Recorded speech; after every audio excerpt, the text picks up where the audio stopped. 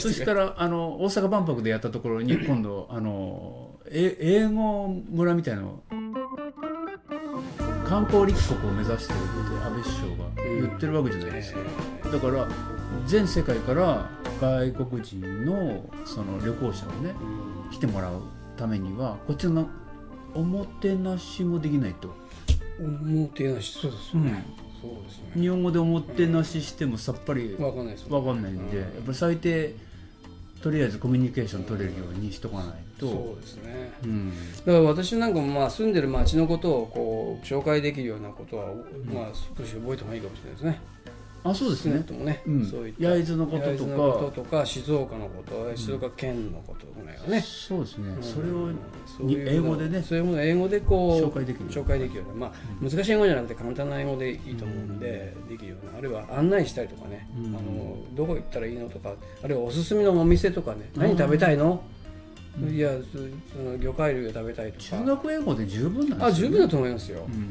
それをあのいわゆるこうネイティブ・イングリッシュらしい英語でね。うん。通じないとしょうがないもんねそうそうやっぱりね、カタカナ英語で言ってたらやっぱり通じないし、うん。えじゃあこれから福ちゃんに英語のトレーニングのそのなんか番組一緒にこう作りましょうよ。ー、じゃあプレッシャー大きい。ね なんかね。なんか番組なんかねこんなザックバランのそうですね。だからその簡単なこう場面設定にしてうんやるっていうのはね、やっぱりその英語を話すね場がないと試したくても試せないじゃないですか。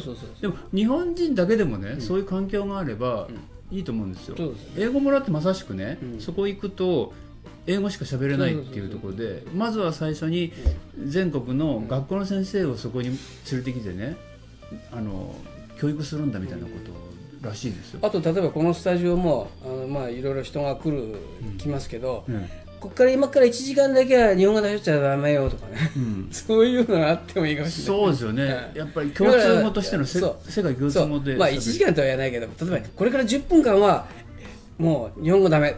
英語でいきましょうっていうのはみんなあの手探り英語で OK、やっぱり日本語英語はねもう聞くと本当にね面白いし、うん、そう。結構ネタになるなりますよね。本当ねでジャパニーズ・イングリッシュは本当にあかのかなり僕も失敗談いっぱい持ってますんで、うんちゃんもおそらくねあいっぱいありますよ。本当にそういうのはねいっぱいありますよ聞かせてもらいたいなと思って。特に食べるものについては本当ありましたもんね。うん。とにかくもうレストランに入っても全然注文できないしじゃあまたあとはねその英語によるクイズとかねいいかもしれないですよ。クイズ？クイズ。例えばあの私そのちょっと友達になるとね、あのいつもクイズを出すんですよ、あのよく有名なあの正直村と嘘つき村っていうのはね、まあ、日本語で言うと、あのある人があの正直村に向かってこう歩いて